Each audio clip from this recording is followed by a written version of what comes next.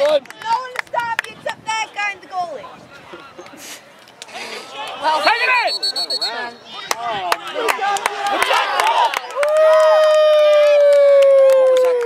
I don't know. I don't know. what was that, ref? Oh. He said he pushed off him. He pulled off him. He kind of armed him. like slammed him. Come on, buddy. Come on, Kel. Let's go, Nick with championship lacrosse right here on this turf field, field one and field Yeah, he lost it. He lost it. on field one,